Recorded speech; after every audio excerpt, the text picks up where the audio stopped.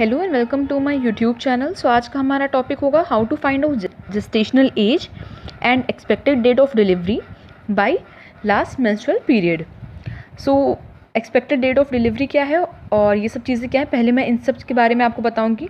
सो gestational age पहले बात करेंगे, आखिर क्या होता है? जेस्टेशनल एज वो टाइम पीरियड होता है जितने में जो बेबी है वो वूम के अंदर ग्रो कर रहा है। यानी कि जिस दिन से इम्प्लांटेशन हुआ है तब से लेके आज तक का जो भी उस दिन का दिन होगा, तब तक में वो जितना भी ग्रो करा है, उतने वीक्स और उतने मंथ्स को हम उसकी जेस्टेशनल एज कह सकते हैं। उसके बाद आता है E D D E D D क्या होता है? एक्सपेक्टेड डेट ऑफ़ डिलीवरी यानी कि किस दिन एक्सपेक्ट किया जा रहा है कि बेबी डिलीवर आउट होगा। और ये E D D normal cases में हम लोग मानते हैं कि अगर कोई कॉम्प्लिकेशन हो जाए तो हो सकता है ईडीडी चेंज हो जाए या फिर पहले ही उसको ऑपरेट करके या फिर नॉर्मली डिलीवर आउट किया जाए। बट नॉर्मली अगर कोई भी कॉम्प्लिकेशन नहीं है या फिर कोई भी ऐसा फैक्टर नहीं है जिसकी वजह से ईडीडी अल्टर हो तो यूजुअली हमारी expected date of delivery same रहती है। देन लास्ट आता है L M P so P क्या होता है? Last menstrual period last menstrual period का पीरियड का मतलब होता है कि जब भी लास्ट टाइम उस फीमेल को पीरियड्स हुए हैं तो उसका जो फ़र्स्ट डे होता है, वहाँ से हम लोग लास्ट मेंस्ट्रुअल पीरियड का उसकी डेटिंग्स मार्किंग करते हैं। तो ये था इन तीनों के बारे में। नाउ विल कम कि how to find out E D D with the help of L M P अब हम लोग कैसे फाइंड करेंगे कि एक्सपेक्टेड डेट ऑफ़ डिलीवरी क्या है? With the help of last menstrual period so हमने यहाँ पे सपोज़ कर लिया है कि लास्ट मेंस्ट्रुअल पीरियड जो हमारा था, वो था twenty four January two thousand and twenty तो इसको निकालने का एक बहुत ही आसान तरीका है। बस आपको एक काम करना है कि जो भी आपकी डेट है, उसमें प्लस सेवन करना है, यानी कि सात दिन जोड़ने हैं और जो महीना होता है, उसमें नाइन मंथ्स जोड़ने हैं। यहाँ पे हमने वही किया है। एक्सपेक्टेड डेट ऑफ़ डिलीवरी को हमने लिख दिया। उसके बाद जो भी डेज़ थे, उसमें प्लस सेवन किया है और मंथ्स में प्लस नाइन तो इसको प्लस करने से हमें मिला थर्टी वन और इसको प्लस करने से हमें मिला टेन तो टोटल हमारा आ गया thirty first October two thousand and twenty ये था हमारा पहला एग्ज़ाम्पल अब हम दूसरे एग्ज़ाम्पल की बात करेंगे, जिसमें कि है eight of April two thousand twenty तो अगर 8 अप्रैल 2020 को फीमेल का लास्ट मेंस्ट्रुअल पीरियड था तो हम उसका ईडीडी कैसे निकालेंगे? उसी तरह से डेट में प्लस सेवन मतलब आपको सात दिन जोड़ने हैं नौ महीने जोड़ने हैं और जो रिज़ल्ट आए उसको लिखना है ईडीडी में। सो so, हमने यहाँ पे इसमें सात दिन जब जोड़े तब फिफ्टीन आया बट इसमें जब हम जोड़ेंगे तो वो एक्चुअली में तेरह आएगा। अब क्योंकि सिर्फ़ बारह महीने होते हैं तो हम तेरह को बारह के बाद एक और जोड़ेंगे यानी कि फ़र्स्ट मंथ ले लेंगे। और क्योंकि यहाँ से अब वो पीछे चला गया तो एक एक एडिशनल मंथ था, इसलिए हमने इसको पीछे कर दिया। आप इस बात को शायद समझ रहे होंगे कि क्योंकि तेरह नहीं होता है, बारह के बाद एक आएगा, इस वजह से हमने यहाँ पे एक साल में बढ़ा दिया है गिनती। यानी कि 2020 की जगह अब आएगा 2021 ऐसे ही हमारा तीसरा एग्ज़ाम्पल है, जिसमें हमने डेट ली है 29 मार्च 2020 सो अगर 29 मार्च 2020 को किसी फीमेल का लास्ट मेंस्ट्रुअल पीरियड था तो उसमें हम ई e निकालने के लिए वही सेम प्रोसेस करेंगे। हमने प्लस सेवन इधर किया प्लस नाइन मंथ में किया और उसका रिज़ल्ट फाइंड आउट करेंगे। सो so, अब क्योंकि ट्वेंटी नाइन है सो so ट्वेंटी नाइन के बाद आया थर्टी थर्टी वन उसके बाद आपको थर्टी वन के बाद आगे जाना होगा।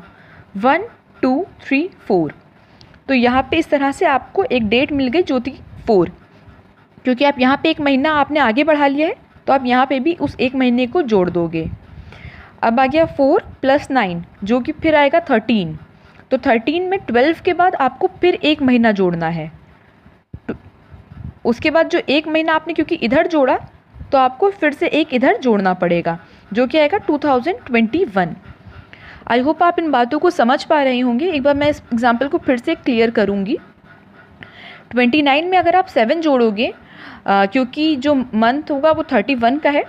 सो so, अब आप इसको अगर यहाँ पे जोड़ोगे तो ये आएगा ट्वेंटी नाइन प्लस सेवन जो कि होता है twenty nine thirty thirty one अब उसके बाद हमारा दूसरा महीना शुरू हो जाएगा इसलिए वन के बाद हम लोग जो इसके दूसरा महीने में शुरू कर देंगे।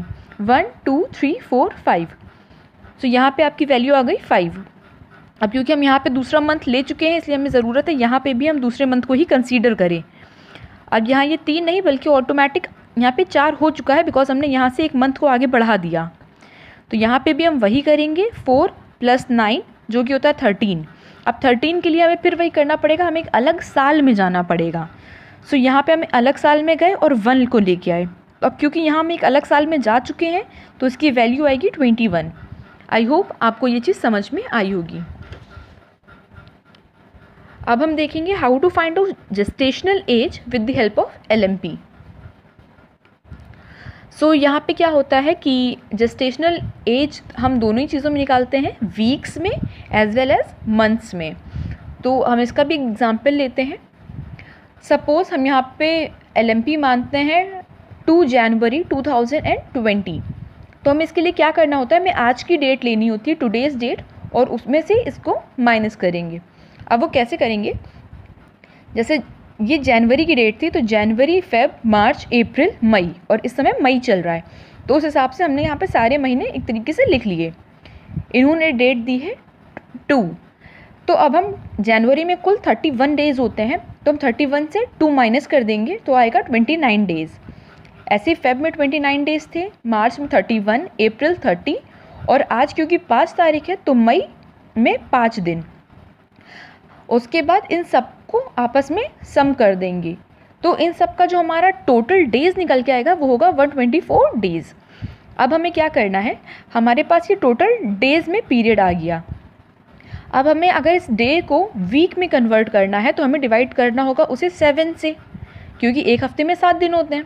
तो हम जब इसको डिवाइड करेंगे तो हमारे पास वैल्यू आएगी सेवनटीन पॉइंट सिक्स वीक्स उसी तरह से जब हमें मंथ्स में इसको करना होगा तो मंथ में कैसे करेंगे? हमें यही सेम वैल्यू लेनी है 124 और डिवाइड कर देना है 30 से। सो so, उससे वैल्यू आएगी 4.1 मंथ यानी कि चार महीने और एक हफ़्ता। प्रेगनेंट प्रेगनेंसी वहाँ पे शो होगी। अब हम अपना दूसरा एग्ज़ाम्पल लेते हैं जहाँ पे हमने फिर आज की डेट ली है और अपना एलएमपी ले लिया है। एलएमपी हमने यहाँ पे सपोज़ किया है nine eight two thousand and nineteen यहाँ पे भी हमें सेम करना है एट क्योंकि अगस्त होता है तो अगस्त सितंबर अक्टूबर नवंबर दिसंबर जनवरी फेब मार्च अप्रैल मई सो हमें यहाँ पे क्या करना है कि थर्टी वन का महीना था हमने माइनस कर दिया नाइन को। नाइन माइनस करने के बाद हमें मिला ट्वेंटी टू सेप्टेम्बर के लिए लिखा thirty thirty one thirty thirty one thirty one twenty nine thirty one thirty और मई में क्योंकि आज पाँच तारीख इसलिए हमने सिर्फ़ पाँच दिन जोड़े हैं। सो so, जब हम इन सारे डेज़ को कैलकुलेट कर लेंगे प्लस कर लेंगे तो हमारे पास एक टोटल वैल्यू आएगी, जो टोटल नंबर ऑफ़ डेज़ होंगे, वो होंगे टू सेवेंटी डेज़ मतलब कुल मिला के इतने डेज़ की प्रेगनेंसी है। अब हमें यहाँ पे क्या करना है? To find out the weeks इसका वीक फाइंड आउट करने के लिए हमने जो टोटल डेज़ थे, उसको डिवाइड कर दिया सेवन से।